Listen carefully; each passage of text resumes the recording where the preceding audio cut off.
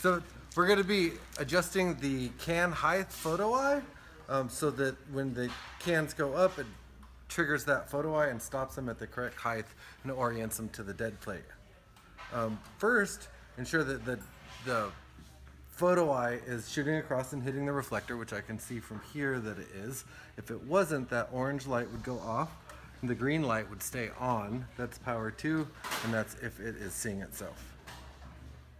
Um, to start with, I will put the carriage at one can height away from where it's going to be, so roughly where the top of the cans are level with the dead plate.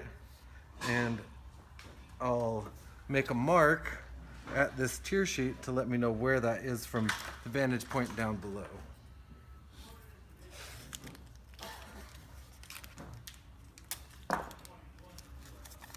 Bottom of the tape is No. Down. Down. Down. Down. Floor. There you go. that's your, your vantage point is from the bottom of the tape to the tier sheet. Uh-huh. Okay. And we'll uh, raise this and see where it hits and adjust accordingly. Now we're gonna go to the manual screen and hold down the up button.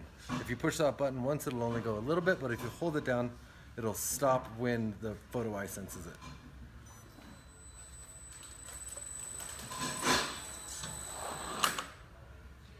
Okay, now where the photo eye is now is a little bit high.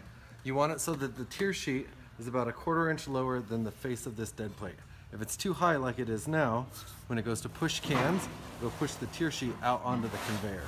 So we need to go down.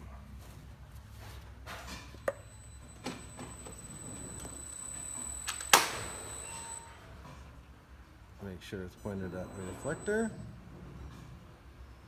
And try it again.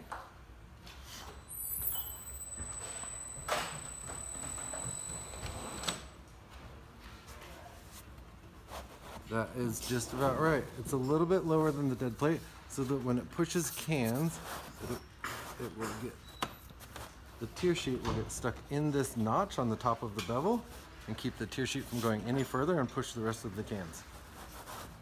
Now, if you're having problems with your photo eye, you can retrain your photo eye. Sometimes this is necessary if it's not quite aimed right or you have bright cans which are super reflective. To train the photo eye, there's a button on this side, a small button on the photo eye. You simply hold it down for three seconds, the light will go out and then back on, and now it's retrained and works good.